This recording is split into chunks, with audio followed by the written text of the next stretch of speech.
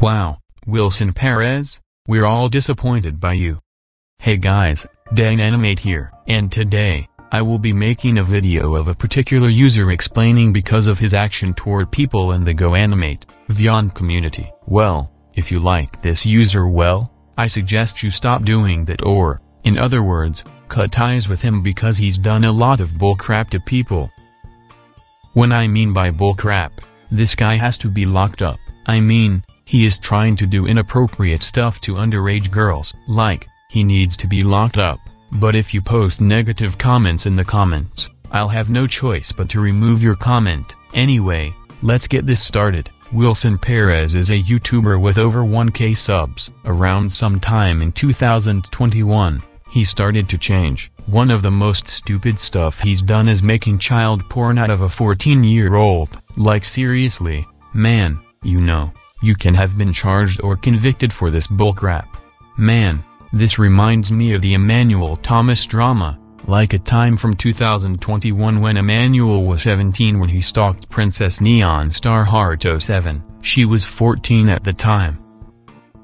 In one of his videos, he made a video of a particular character I will not mention, getting punished for her 14 birthday. In the end, he celebrates her death. Wow. That proves that some people act differently online than in the real world. Whenever Wilson makes an apology video, it's fake.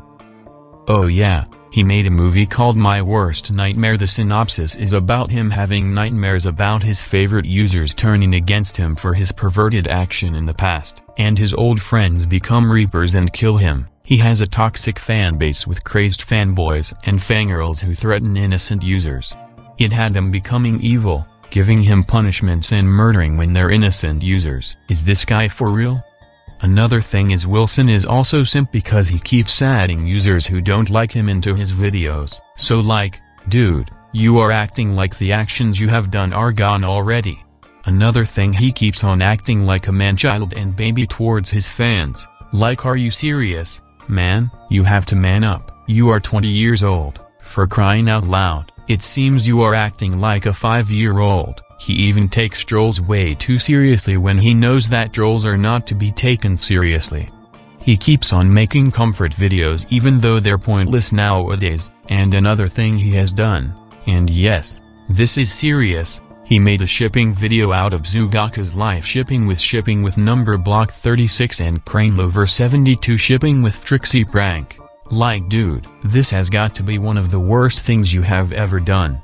And yes, you brought this on yourself.